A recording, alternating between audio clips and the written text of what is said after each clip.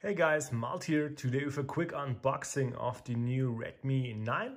This is uh, the version in carbon gray, uh, 4 gigs of RAM and 64 gigs of ROM. And yeah, the packaging looks um, quite similar to other Redmi devices like the Note 9 and so on. Let's open this boy up.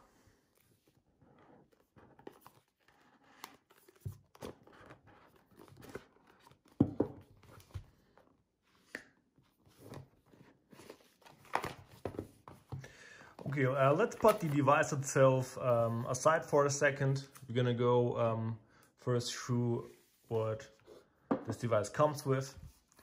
As uh, Xiaomi typical, we do have here a uh, case here, which is um, a clear case, but not see-through. It's on a black tint, so this uh, see-through black uh, plastic case uh, look looks really dope. So uh, you would pay otherwise around 10 euros for it additionally uh, to the device. And I really love that Xiaomi always includes uh, those cases. Um, your typical manual, user guide, warranty card. That's your typical setup as well. Uh, wall charging adapter and a USB Type-C charging cable. Now we can go to the device itself. A quick run-up of the specs of the device. So this is a Redmi 9, uh, a 30 megapixel AI quad camera setup, a big and beefy 5020 milliamperes battery, a 6.53 inches of FHD plus dot drop display. So the dodge is only like a drop in the middle area and a quite powerful high performance Helio G80. Um, that's where I'm quite interested myself as well, how the MediaTek chipset performs with everyday tasks.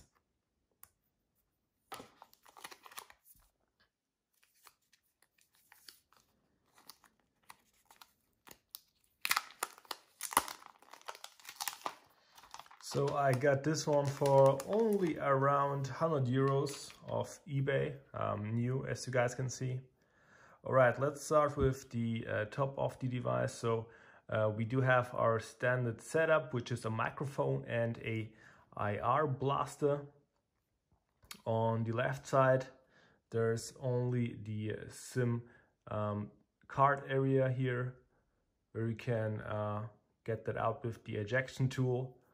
On the downside, we do have the, which I love to see, the headphone jack, another microphone, the USB Type-C charging port, and these speakers. On the right side, the Xiaomi typical setup of the power button and the volume up and down buttons. Let's go to the back of the device. So this is the um, black version or gray version. Um, we do have a color difference. There's like a ring, which is um, more of a dark tint in it. So we do have the camera setup up here, the flash, and the fingerprint sensor. Let's uh, quickly turn the device up. So um, I can show you guys the um, real estate of the device itself, of the screen.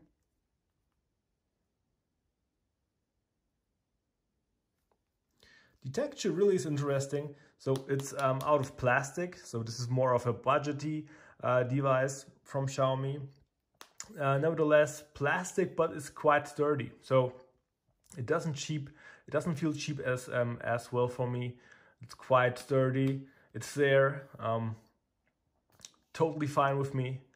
Uh, that's the um, drop dot this um, notch display looks quite nice. Um, I'm really interested to see how the MediaTek chipset performs with everyday tasks.